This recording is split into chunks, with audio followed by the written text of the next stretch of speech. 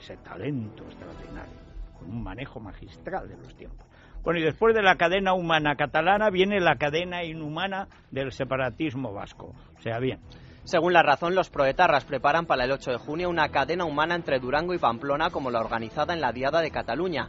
El lema será Somos una nación, tenemos derecho a decidir, es el momento de la ciudadanía. La longitud sería de 123 kilómetros. Para promocionarla organizarán dos iniciativas propagandísticas. La primera se llamará Euskatalba, en referencia a Euskadi, Cataluña y Escocia, y la segunda se denominará en euskera Juntar las Manos. La Asociación Dignidad y Justicia estudia denunciar a los presos de ETA que protagonizaron el acto de Durango por colaboración con Banda Armada. Mientras la polémica por el acto continúa en las redes sociales, Iñaki Yorzábal ha respondido al juez Pedraz a través de Twitter después de que éste señalara que si hubiera prohibido el acto habría prevaricado. Oyarzábal afirma que cuando criticó al magistrado por no impedirlo, emitió una valoración compartida en el Partido Popular. Este ya tiembla.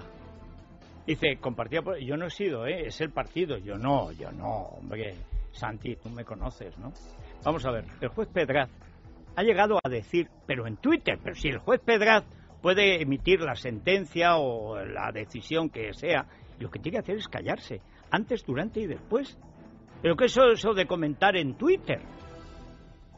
Desde que descubrimos que la soledad del juzgador Gómez Bermúdez, autor de la mayor fechoría de la historia de la justicia española, la infame sentencia del 11M, por cierto, sigue condenado a 27.000 años de cárcel un tío en función de dos testimonios pagados por la policía. Cierro capítulo. El juez Pedraz no tiene que comentar nada, pero si el argumento es, como dio en Twitter, que hay que echarle narices, hay que echarle. Es decir, yo no es que haya autorizado, es que no he desautorizado. Y el Consejo del Poder Judicial no aparta a este juez de sus funciones como a Elpidio Silva, o sea, pero ¿cómo puede decir un juez cuando una manada de asesinos etarras, lo peor, recién extraído de la cárcel por Gallardón y por Mariano, dos talentos excepcionales, grandes patriotas, montan un acto en el matadero de Durango, no se dirá que no dan pistas. ¿Para qué? Pues ¿para qué va a ser?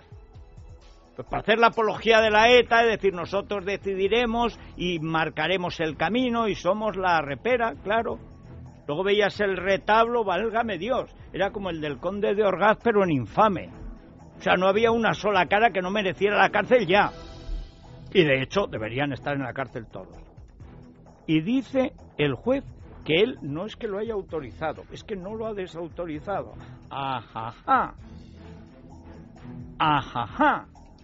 Y hay un consejo del Poder Judicial que nombrado por Mariano y por Rubalcaba. Es decir, corrompido hasta el tuétano por el poder político. Pues no le harán nada al juez, claro. ¿Qué le van a hacer?